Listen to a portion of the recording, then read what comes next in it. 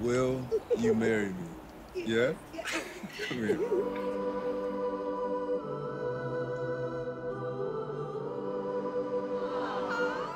Chris Brown. Oh my gosh. Coochie, Jesus. Allergies. For Jamise and Rashad, one is the magic number. One wedding to plan. Stop, stop, stop it.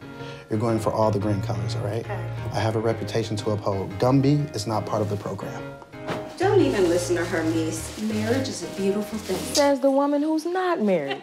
The only thing that matters is us. And us saying I do. One crazy bachelor party. We are about to embark on the journeys of all journeys, okay? We're about to have the bachelor party of all bachelor parties. Jay, what the? Don't you even dare. Don't you dare say that word to me. You don't get to say that word to me. No, I get to say that word to you. One huge argument. Let me tell you something else you don't know about your mama. She watches porn too. What did you and Dad do? Oh, we got divorced.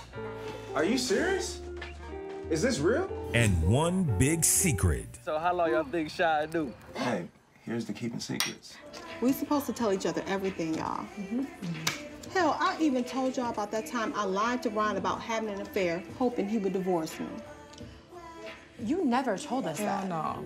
This fall, the truth shall set you free. The whole time we was planning the wedding, all I could think about was how I was gonna take her out. You mean like different date ideas?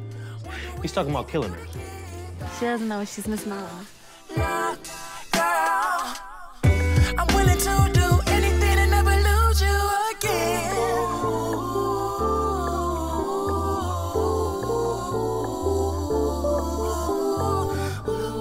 Kamal Smith's Not Left in Vegas. What's going on? And why are you two naked? Obviously, we just got done having sex, but that's the last thing you need to be concerned about right now.